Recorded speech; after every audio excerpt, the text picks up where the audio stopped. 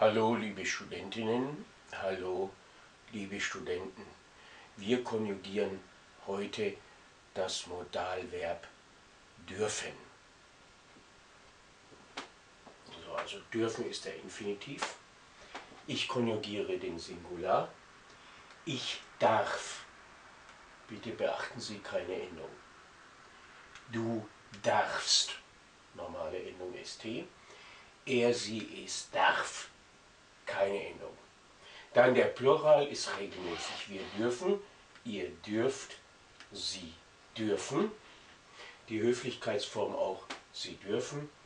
Also Infinitiv, erste Person Plural, dritte Person Plural und die Höflichkeitsform im Singular und im Plural sind gleich. Sie dürfen, sie dürfen.